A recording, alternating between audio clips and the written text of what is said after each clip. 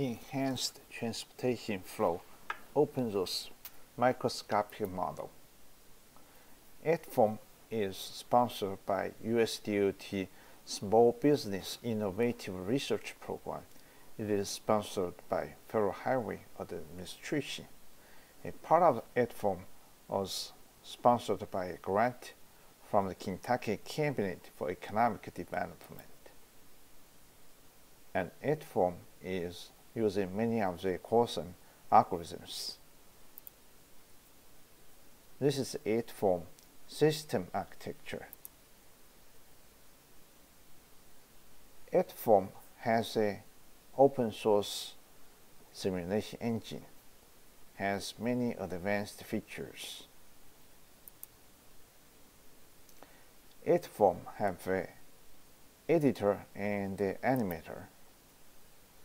ETFOMM it can be deployed on the cloud environment and it, ETFOMM cloud service can run on Android phone, iPhone, iPad, and Windows and Mac computers. And those are the examples of the ETFOMM in research.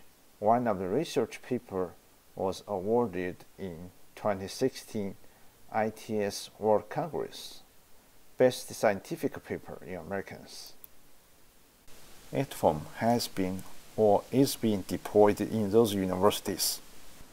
This section of the slide shows how ETFOMM is running on the cloud server and the, the application the user developed on the left-hand side is running on the local machine.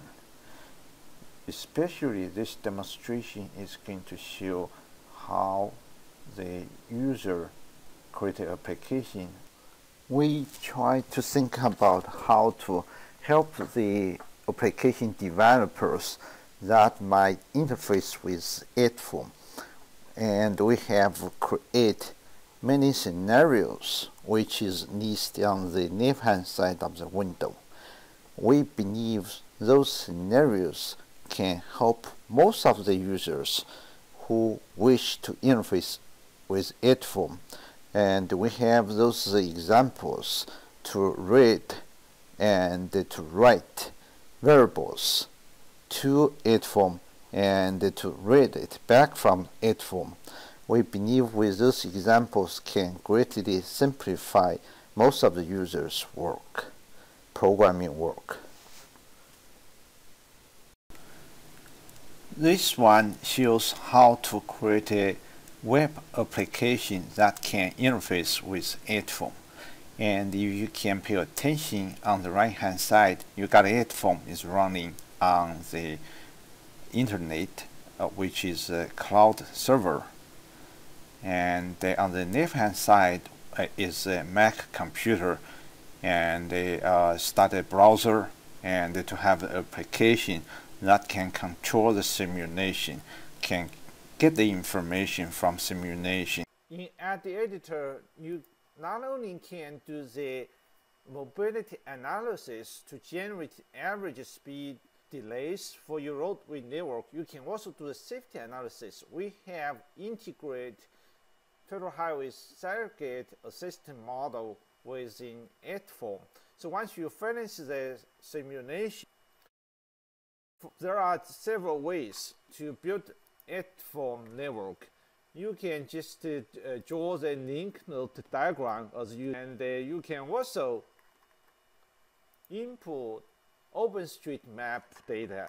In that case, at editor can build the road, roadway network for you automatically. For example, for this diamond interchange, you can export the roadway information from OpenStreetMap, and, then you can input OpenStreetMap and select you can see this diamond interchange roadway network has been automatically inputted you can also do that for a roundabout. For example, this is a roundabout in Starkville, Mississippi. The roundabout.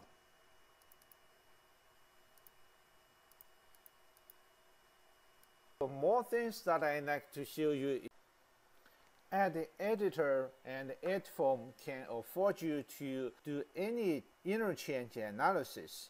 Generally speaking, at the interchanges, one controller control multiple intersections. For example, this is a one a divergent diamond interchange in Lexington. There are six intersections are controlled by just one controller. Computer have a function which can combine all those nodes into one screen and you can enter the traffic signal timing plan accordingly according to the local actual traffic signal timing control plan. In this another case, a diamond interchange in Mississippi, which is in US 78 and 302, there are four rings has been used and in this case timing plan and also in that diamond interchange one controller control four intersections.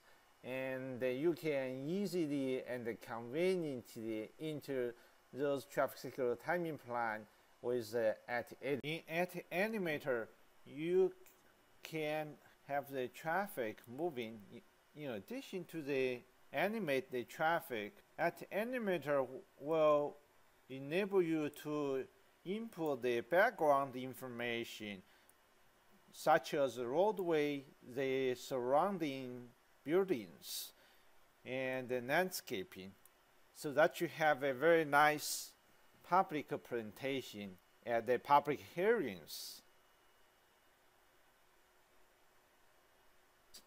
In our view, roundabout is a intersection.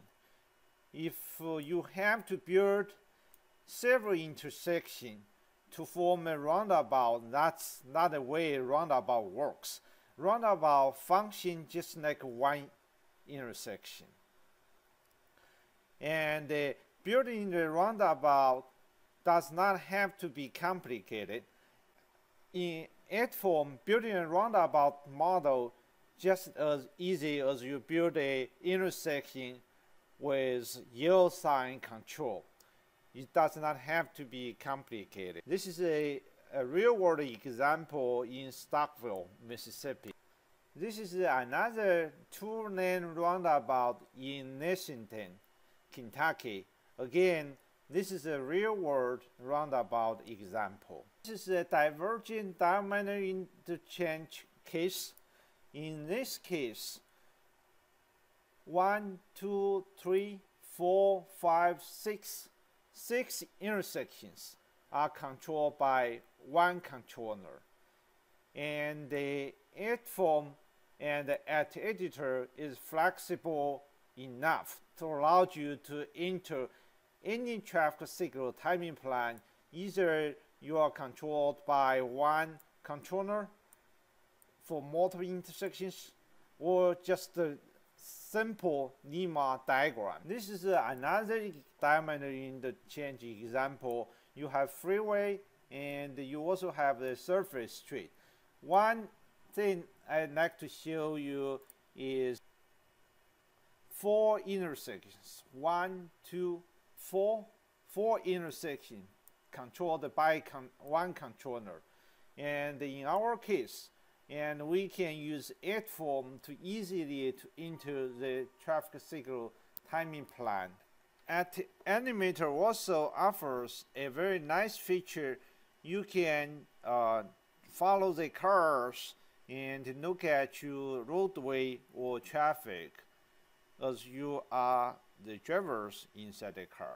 For example, that you can follow the car all the way uh, traveling around the intersections.